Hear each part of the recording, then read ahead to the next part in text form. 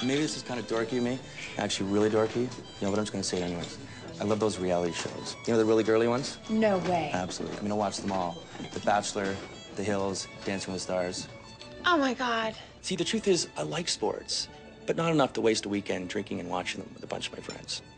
Wow. I guess the best way of putting it is, I feel that I've sown all the wild oats that I need to sow, and I just want to find an intelligent woman of substance that I can love unconditionally and ask the same of her.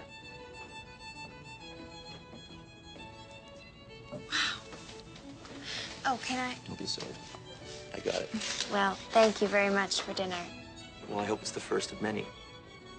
Excuse me for saying, has anybody ever told you you look like the supermodel Heidi Klum? Oh, stop. No, really. You could be a body double. Well, I do have German ancestry. So funny. really? Here, What's this? I want you to have a key to my house. Houses, actually.